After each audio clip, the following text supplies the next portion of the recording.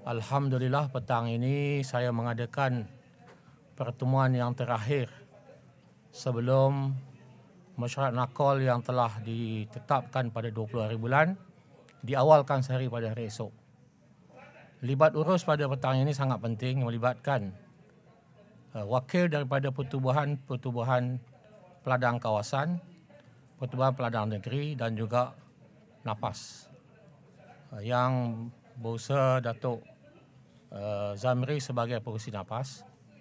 Yang lain yang ada bersama dengan saya adalah wakil-wakil daripada negeri.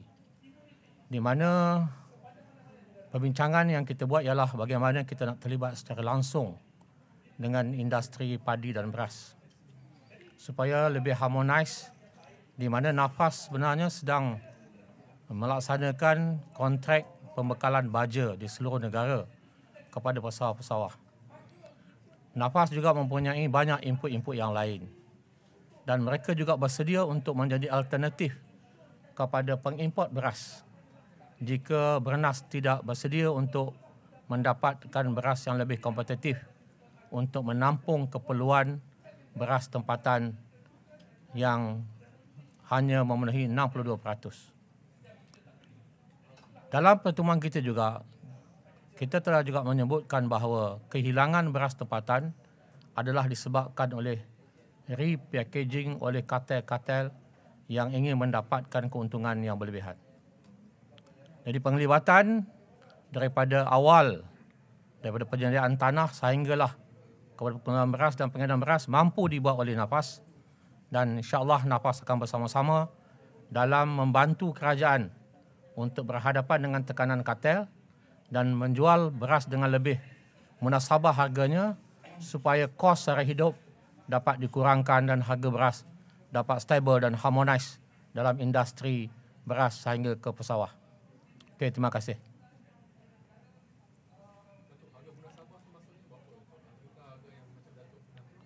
Kita propose RM30 harga beras pada dunia. 10 kg. Dia kita punya rancangan nafas akan menjadi pembeli padi. Ya.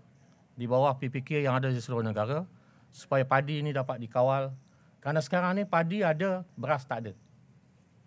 Padi dihasilkan oleh pesawah setiap musim dituai dan dijual kepada pengirang tapi beras tak ada dalam pasaran. Jadi bagaimana kita nak kawal supaya padi yang dikisar, padi tempatan yang dikisar akan mengeluarkan beras tempatan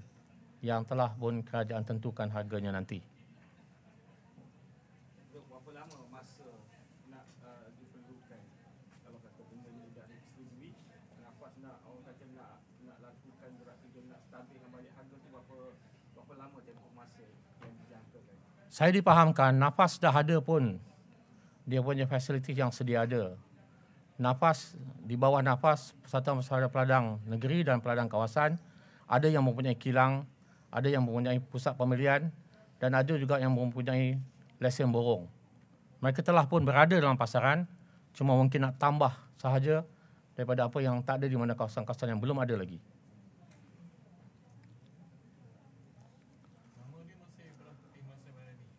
Okay, nama ni akan diputuskan juga pada meeting yang akan datang. Yang pentingnya ialah bagaimana kita nak menyelesaikan masalah rakyat. Pada nama ni nama soal kedua lah. Tetapi saya cadangkan nama itu supaya sesuai dengan kerajaan yang ada sekarang. Besok ya insyaAllah besok.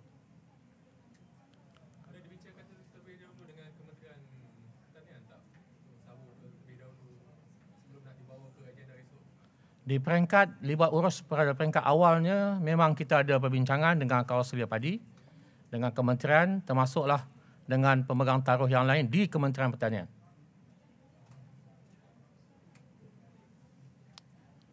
Okey. Esok je meeting habis. Besok last.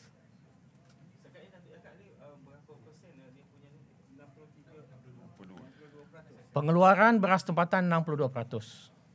Kita perlukan import 38%.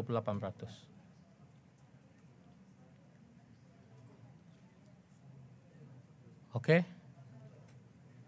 The point is, nafas bersama dengan ahlinya sebanyak hampir satu juta orang, pesawah dan juga peladang dan petani, bersedia untuk gerak bersama dengan uh, keputusan kerajaan nanti untuk membantu industri padi dan beras untuk stabilize dan harmonize balik uh, harga dan juga industri.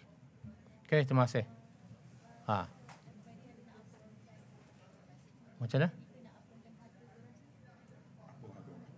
Ada cadangan daripada pihak-pihak yang terlibat juga untuk mengapungkan.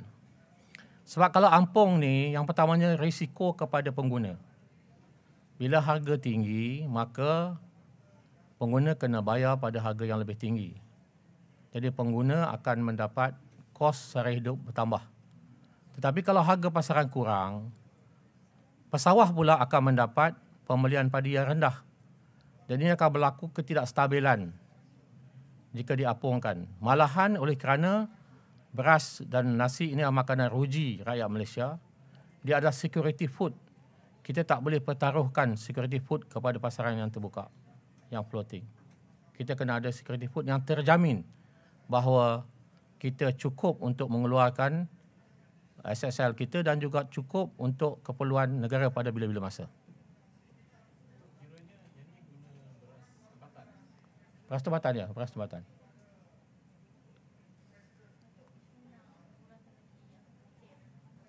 Mengurangkan? kartel. Okey, kartel ni adalah aktiviti perniagaan yang dibuat oleh peniaga-peniaga. Apabila tidak ada pelaksanaan peraturan ataupun penguatkuasaan yang lebih serius, maka ruang itu diambil oleh peniaga-peniaga yang disebut kartel untuk manipulasi. Contohnya, oleh kerana ada dua struktur harga, beras import tidak dikawal, beras tempatan dikawal. Dan beras tempatan pula pelaksanaan pengawasan dan kawasalia tak serius, maka pengilang boleh kampitkan beras tempatan kepada beras import.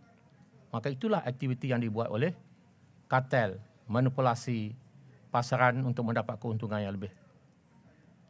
Dia akan berlaku pada bila-bila masa kalau tidak ada pengawalan dan penguatkuasaan yang cekap dan yang telus.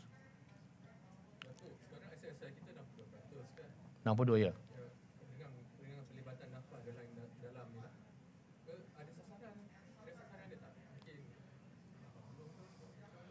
kerajaan memang di bawah Kementerian Pertanian dengan pelbagai skim yang dibuat. Skim skala uh, ladang besar dan sekarang ialah gelombang padi. Memang kita ada punya sasaran untuk mencapai uh, SSL kita secukupnya. Tetapi ini masih lagi di peringkat-peringkat yang pelaksanaan lah. Ya, saya tak ada figure berapa persen. Sebab itu urusan kementerian. Nakol hanya tugas saya mengawal harga barang di pasaran. Okey.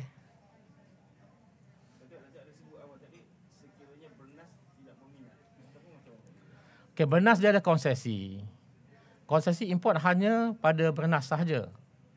Untuk mendapat 32%, 38% lagi harga yang sesuai untuk dipasarkan, maka bernas kena turunkan sedikit harga jualan 3200 satu tan kepada bawah 30 3000 ringgit di pasaran terbuka di luar sana masih ada lagi pengeksport-pengeksport daripada India, Pakistan, Vietnam, Kemboja yang boleh memberikan harga yang kompetitif.